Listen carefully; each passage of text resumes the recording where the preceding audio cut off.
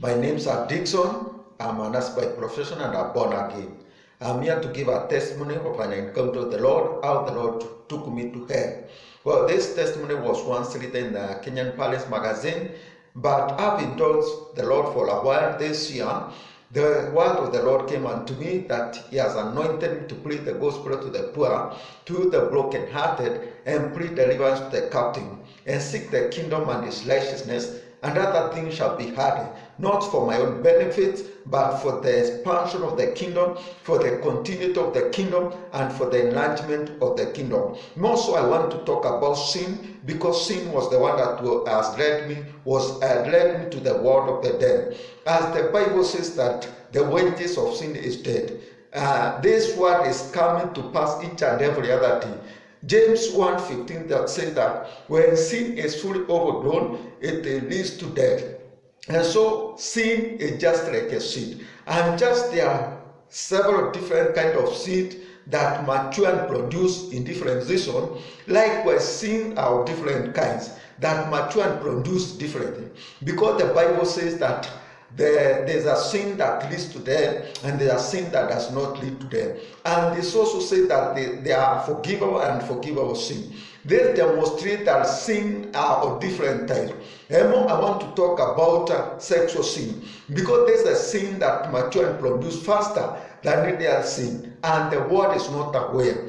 Well, if you read uh, First Corinthians 6:18, it says that free from immorality, every other sin a man commits does not sin against the body.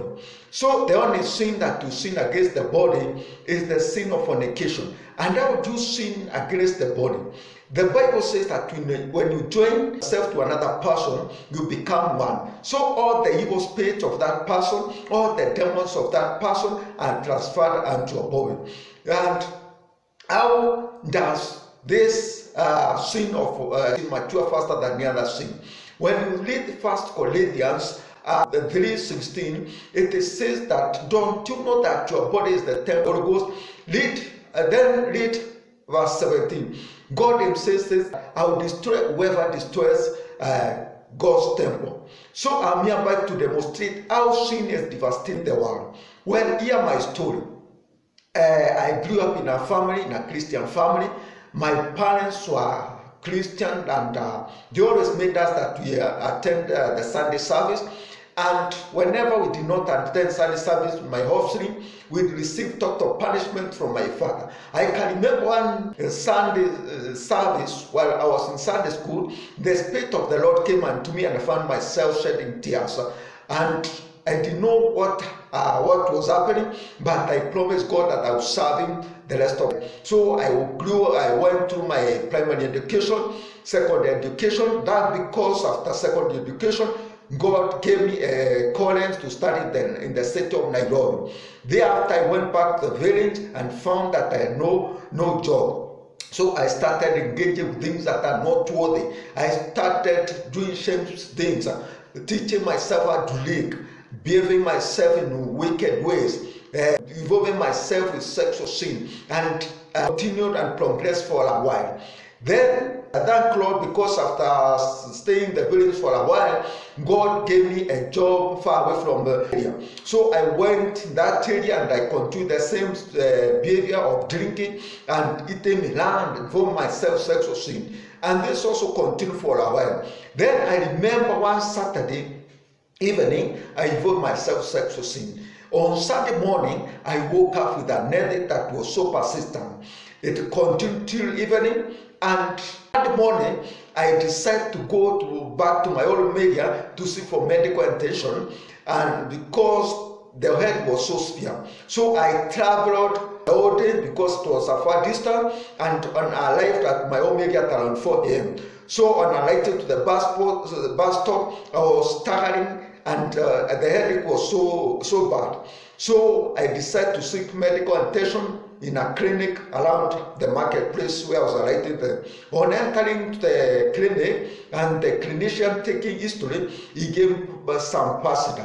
So I started home and When I arrived home, I found my parents and talked to them and told them the, why I was uh, uh, traveled home. So I sat on the bed in front of the house.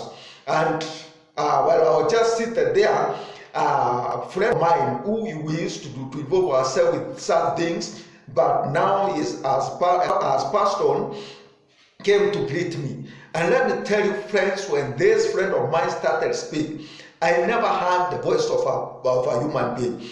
I heard the voice of a pig. When this friend of mine started talking, I heard the voice of a pig. So I started realizing that were not, uh, are not normal. So I did not even mention, and uh, after my friend left, even came and we had supper and went to sleep. At 3 a.m., that is when I was uh, awakened by sounds of music that came from a distance.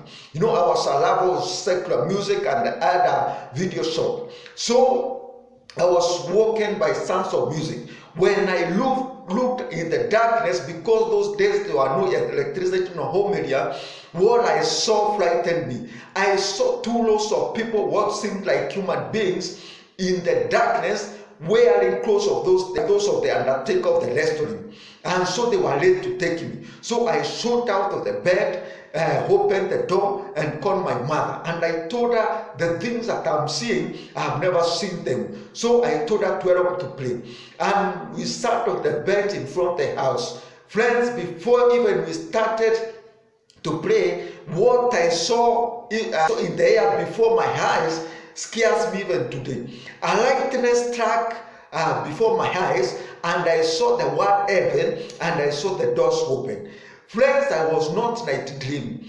Just before my eyes, a lightning struck in that hour of the night at around 3 a.m. before my eyes, and the lightning I saw the word heaven and I saw the doors closed. So I asked mother, Have you seen anything? Mother had not seen anything. So I did not explain what I saw. So we sat and we uh, mother to pray we prayed for a while then after some times after prayer mother told me to go back to sleep so that uh, I, we can wait for the morning hours that we could go to the hospital.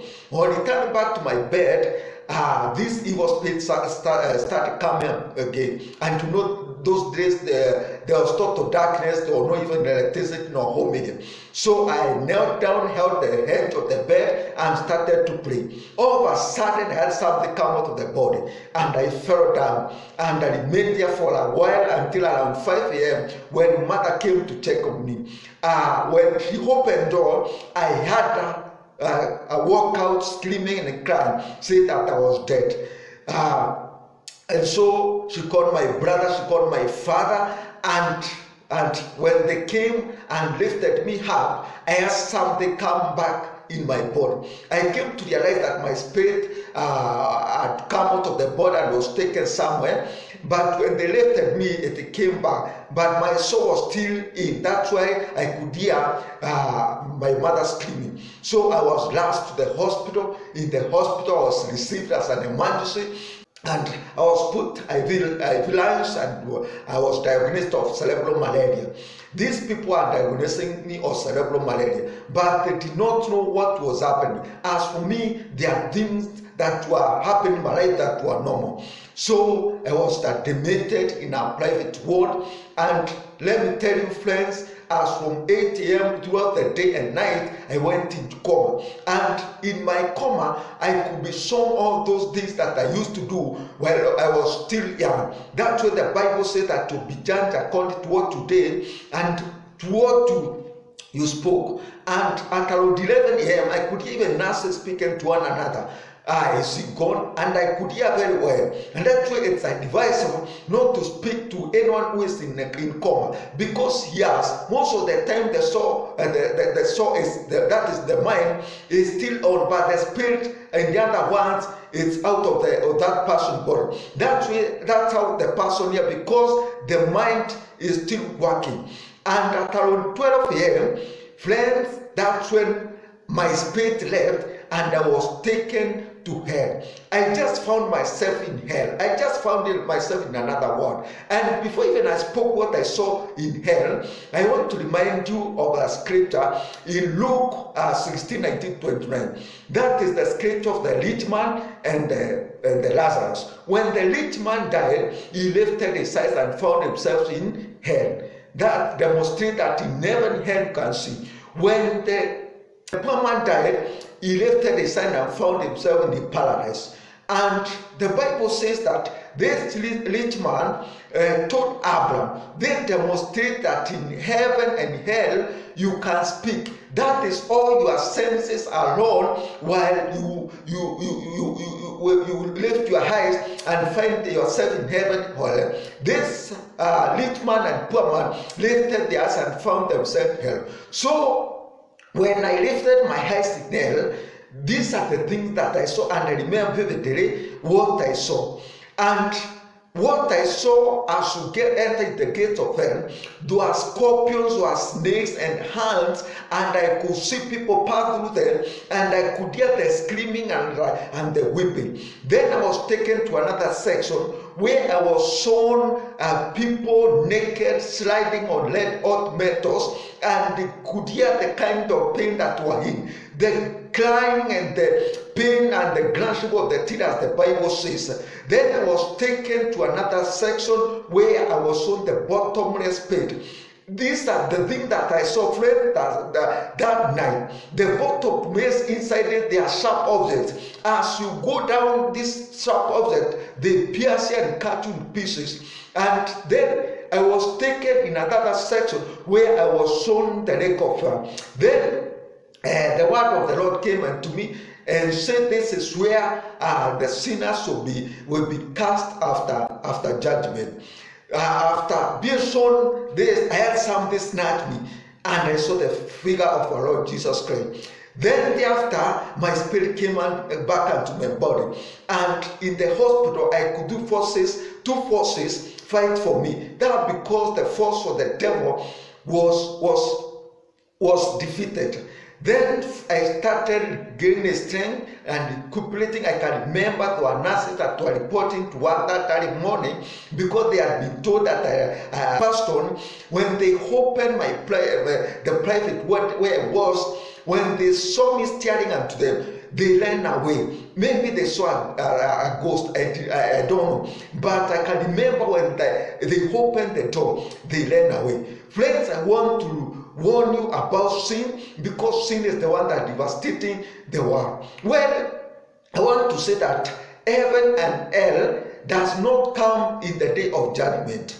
When one dies as a sin, he lifts his eyes and finds himself in paradise. When one dies as a sinner, he lifts his eyes and finds himself in hell. And you go in torment awaiting, awaiting judgment. And now I want to talk about death after short illness. Most deaths that are happening today, uh, people are not aware. They are happening because of sin. That is when sin is overgrown.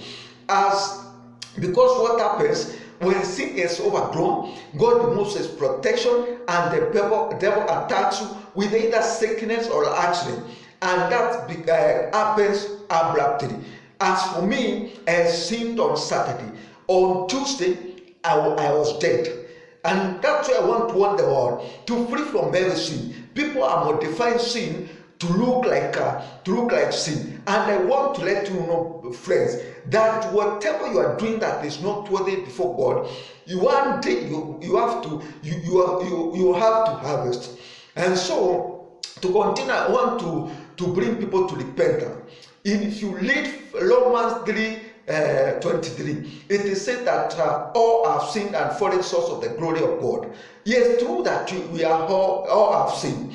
But if you read Romans 5 8, it says that while, while we were still sinners, God demonstrated his love and to us by giving us his only son that may die for us, that we may be saved. And That is how the love of Christ was in us. That demonstrated his love by giving us his only son that may die for us, that may be saved. That does not mean that we are just saved automatically. There's something uh, you have to do. If you read uh, Romans 10 19, it says that if you confess that our Lord Jesus Christ is the Lord and believe that our Lord Jesus raised him from the dead, then you shall be saved. So you have to work to confess and to believe so that you may be saved. So to those who want to be saved, can you follow these words that you may come to light before the Father? So I've given this testimony that you may make the right decision to come with the, uh, with the right choice in their life, and I hope heaven for them. So may God bless you as you keep on meditating on this testimony. Amen.